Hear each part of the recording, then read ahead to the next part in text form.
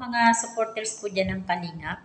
Sana ho ay patuloy nyo pa rin hong subaybayan po ang ah, mga upload video po nila Kuya Bal, at nila Kalingap Rab, at nila Ate Edna, at lahat po ng mga ah, Kalingap partners po dyan, lahat po ng mga charity vloggers po dyan, na nagsisika po para po makatulong sa ating mga kababayan po dyan sa Pilipinas.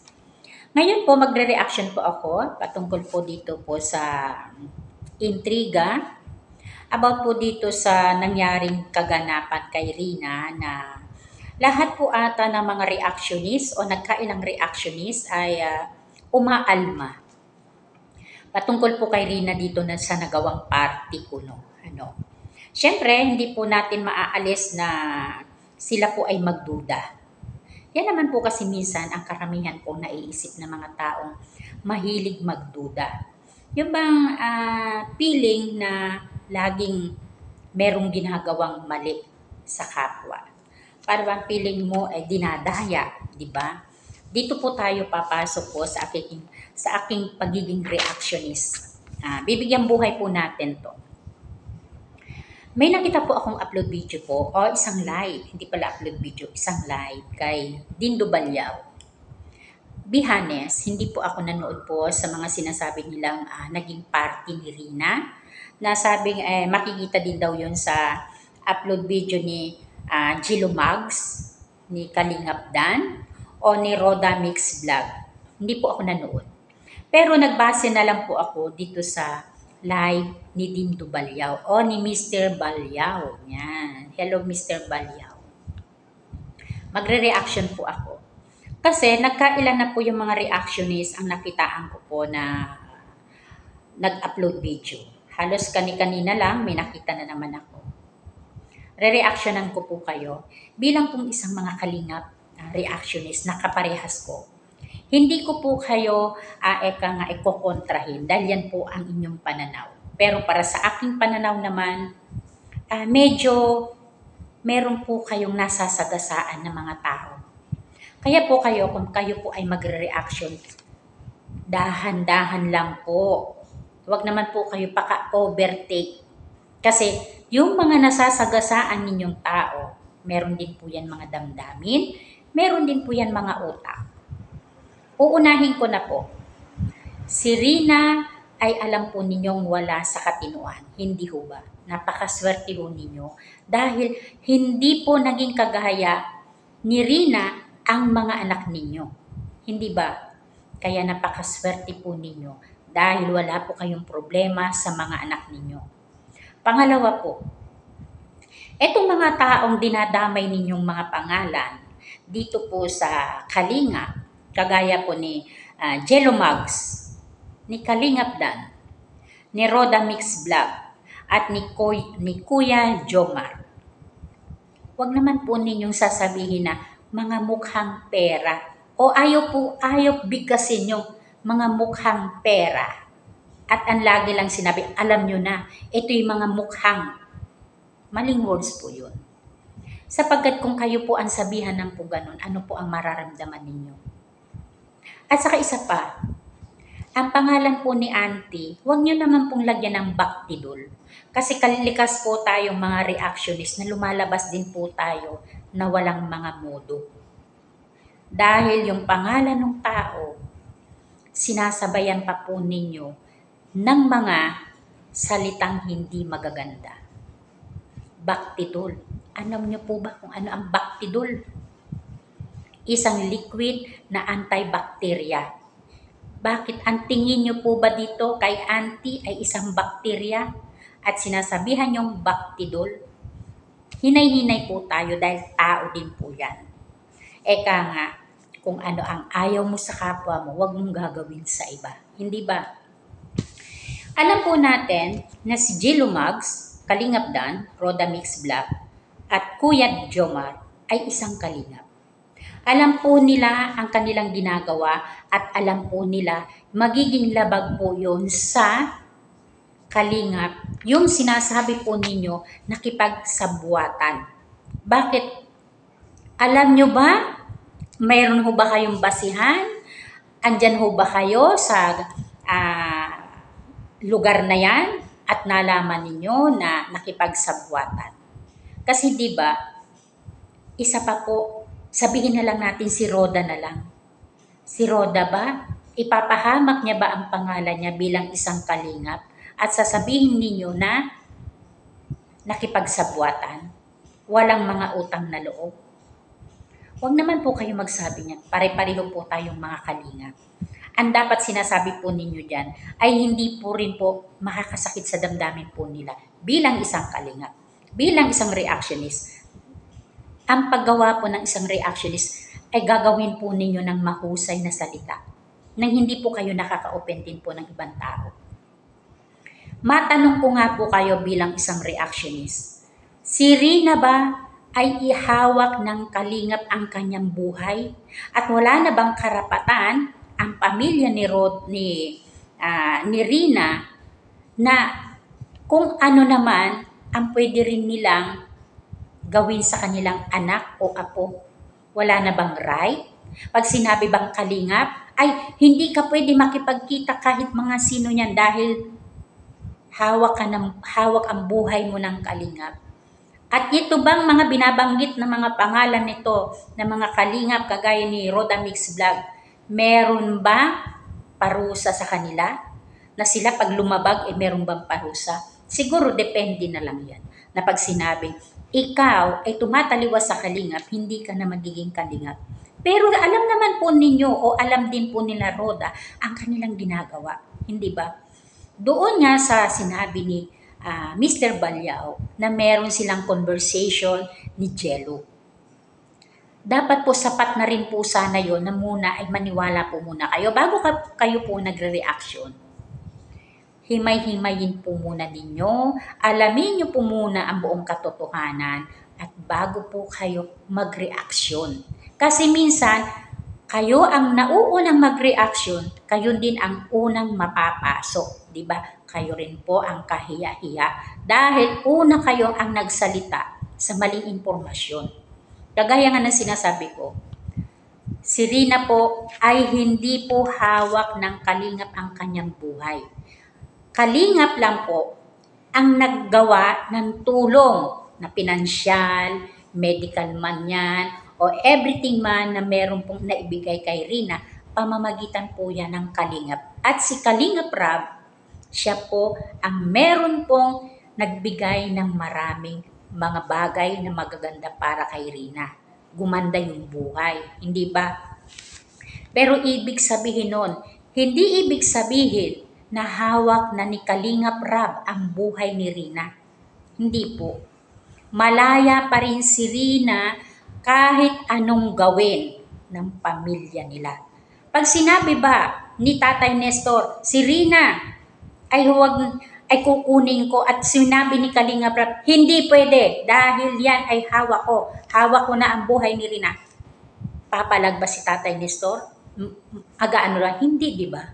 Ang gagawin iyan sa magandang pag-uusap. Dapat po may magandang pag-uusap, di ba? Di ba? Lahat ay ma- pag magandang pinag-uusapan, maganda rin ang kinalalabasan. Etong nangyari dito po sa eka nga sinasabi nila, kuno, ay eh, merong mga kinalaman dito sila Roda Mix Vlog. Nalaman na po yan ni Kalinga Prab. Sinabi na yan, di ba? Pinaalam na yan. Pero dito po sa apat na to, nakalingap na to, hindi po nila alam kung sino yung magiging bisita ni Rina. Isa lang ang nakakaalam na si Jello Max na isa ibang tao yon. Hindi mismo itong si Auntie ang kausap niya. Di ba malinaw na sinasabi ni Jello kahit siya hindi niya alam na ang isa doon sa magiging bisita ni Rina ay si Auntie. Dahil kasi kung alam ito ni Jello, malamang sasabihin ito kay Kalinga Prab. At si Kalinga Prab, maa-alarm na auto meron palang isang auntie. Pwedeng meron isa man sa kanila uutusan ni Kalinga Prab na mismo siya ang mag interview doon kay Kalinga o kay ano kay auntie, 'di ba? Or mismo gagawa ng paraan si Kalinga Prab na mismo siya ang pupunta doon sa party 'yon. Eh ang kaso, lahat sila walang alam kung sino yung pupunta doon na tagahanga nga ni Rina. Sa kaysa pa, bakit nyo po pinag-ababawal? Bakit po ba bawal? Ano po bang karapatan po ninyo na ipagbawal? Si Rina po ay hindi normal. Bigyan nyo po si Rina ng kalayaan. Hindi naman inaagaw ni Auntie si Rina doon sa kalingap. Alam iya ni Auntie ang kanyang kung saan lang siya lulugar. Alam niya kung ano ang buhay ni Rina sa kalingap. Bakit? May nalaman mo ba kayo na itong si Auntie ay kukunin si Rina? Meron ba sa inyong nagtimbre? Di ba wala? Pero kung kayo unang-unang magre-reaction, parang feeling nyo, sure na sure na kayo, na ito si auntie, yun ang wakwak. Yun ang sinasabihan yung wakwak. Huwag po tayo padalos-dalos ng pananalita. Dahil sa pananalita po natin, dyan po tayo nasisira. Hindi po pwedeng sabihin natin yun ay wakwak. Kung meron man pong mangyari ng ganun, saka na po kayo ulit mag-reaction kasi hindi pa nangyayari, inuunahan nyo na. Kaya lumalabas po tayo bilang isang kalingap, parang nawawala na rin po tayo ng modo sa kapwa natin. Hindi ba? Lahat po tayo may mga karapatan. Kahit si Rina ganyan po yan, may karapatan din po yan maging malaya. Kahit pa sinasabi, si Rina ay hawak ng kalingap, pero hindi yan hold ng kalingap na lahat ng bagay hindi pwedeng pakawalan si Rina. Tao po yan, hindi po yan aso o pusa na pag tinali, huwag pakawalan. Hindi ba? Matuto po tayo magrespeto sa kapwa po natin kahit po yan po ay meron pong kapansanan. Right din po niya maging masaya. At ito po mga sinasabi po natin na mga sinasabi ninyo na anti-kalinga o ito la si auntie meron din po silang uh, karapatan makita yung mga iniidolo rin po nila. Kung maganda rin naman ang hangarin. Bakit po ipinagkakait nyo po yan? Sino ba kayo bilang isang reactionist na didiktahan po ninyo ang bawat tao? Huwag po kayo maging diktador. Ipakita po ninyo na kayo po ay isang kalingap na marunong magpakumbaba. Pwede, rin, pwede ho kayong mag-attack pwede ho kayong uh, sumugod o pwede kayong gumawa ng isang bagay na reaction laban sa mga anti-kalingap kung nakikita na po ninyo ang ginagawa po nila ay talagang dahas ang kanilang pagkukuha sa subject ng kalingap. Yan naman po ay respeto, di ba? Dinaan naman po sa pagre-respeto. Sinasabi ninyo, si Kuya Bal ay hindi alam sapagkat wala nga daw alam si Kuya Bat. O sabihin po natin, meron pong pagkakamali po doon si Roda Mix Vlog, si Kalingap Dan, si Jello Mag, si Kuya Jomar. Pero po, nagbigay din po sila ng respeto kay Kalingap Rab. At least, hindi man doon kay Kuya Bal, at least doon kay Kalingap Rab, nakapagbigay sila ng salitang respeto na Kalingap Rab. Meron pupunta dito magbibisita kay Rina. Di ba pumayag si Kalinga Prab? Di ba nagbigay siya ng sige, okay lang. Tapos ngayon, bakit po naging issue nyo yan? At saka isa pa ha, napapansin ko dito sa kanina sa nag-reaction. Huwag mong laging babanggitin ang mukhang pera. Kahit hindi mo sabihin yung pera, ikaw na rin mismo ang nagbibigay ng pananalita na alam nyo na ha kung ano yung mukhang sa pananalita mo, ayos-ayusin mo. Hindi ko mo may pera ka.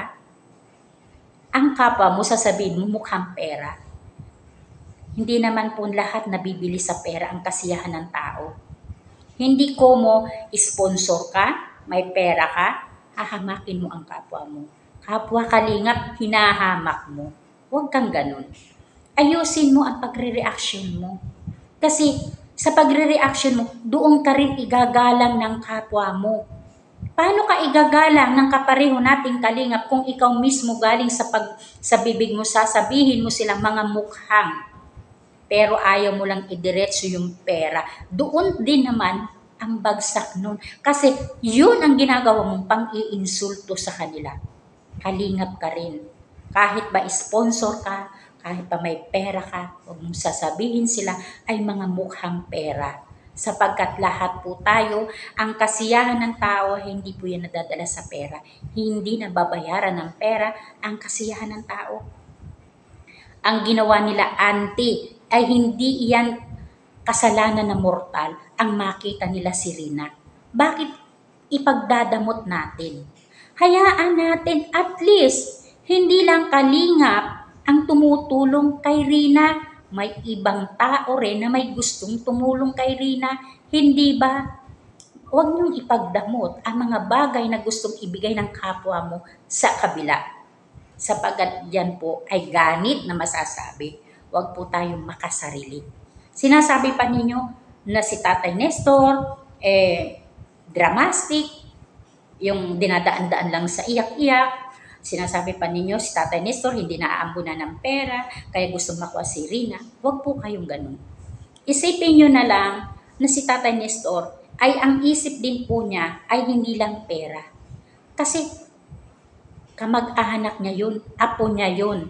Kahit papaano sa haba ng taon na pinagsamahan nila, andoon pa rin yung kanyang pag-concern doon sa kanyang apo. Hindi ba? At saka isa pa, Di ba noon, na-reactionan na rin yun yan, na si Tatay Nestor, noon mga unang-unang upload video nyo, ay si Tatay Nestor, ginawa ninyong rapist. Reactionist din po ang may nagsasalita niyan. Kaya dahan-dahan po kayo sa pananalita ng kapwa ninyo. Hindi lahat mo kayo ang may pera. Huwag niyo sasabihin, ang kapwa niyo ay mukhang pera bakit po kayo nag-upload video? Bakit po kayo nagre-reaction video dito? Di ba pera-pera din? Kumikita rin kayo sa dito sa social media, 'di ba?